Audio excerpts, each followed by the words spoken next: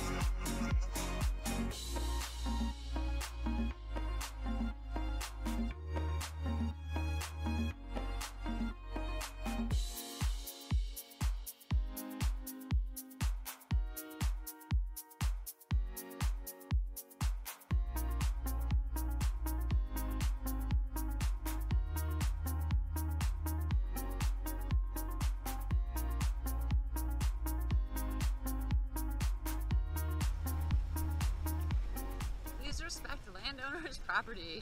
Hey look, Grant has got the hand signals on it. Recommendations for ice safety?